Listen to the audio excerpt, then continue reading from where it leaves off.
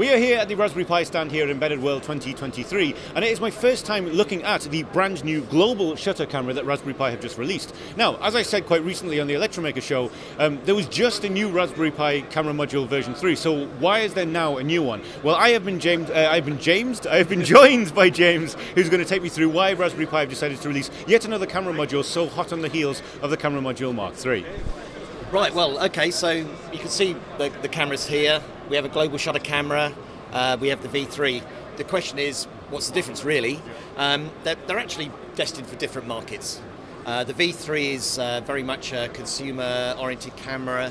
It, uh, the new one has HDR, it has uh, the uh, autofocus.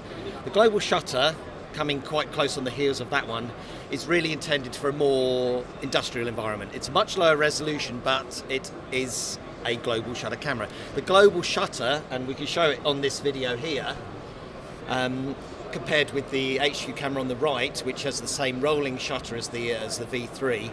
Um, you can see uh, the rolling shutter artifacts on the right hand side here coming from the HQ camera.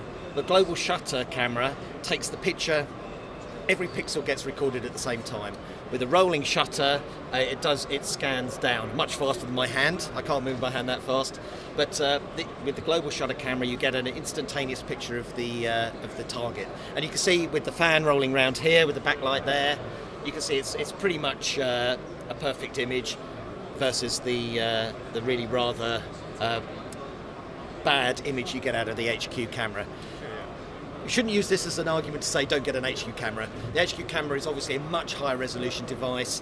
This uh, global shutter camera, there is a trade-off uh, for having that global shutter and the fact that and that trade-off is a 1.6 megapixel camera so you're talking a much lower resolution um, that on the whole for industrial purposes if you're taking pictures on a production line you're doing machine uh, recognition of the images uh, that's not a problem because generally you use low resolution images for that anyway well I was so, going to say yeah one of the main things that happens as part of the process of any kind of machine learning usually is they'll take a higher resolution image and scale it down in order to be processed so that actually makes sense yeah, yeah. yeah. Yeah. Absolutely right. And so, really, the lower resolution of the global shutter camera is not a, not a disadvantage in these circumstances. Sure, yeah.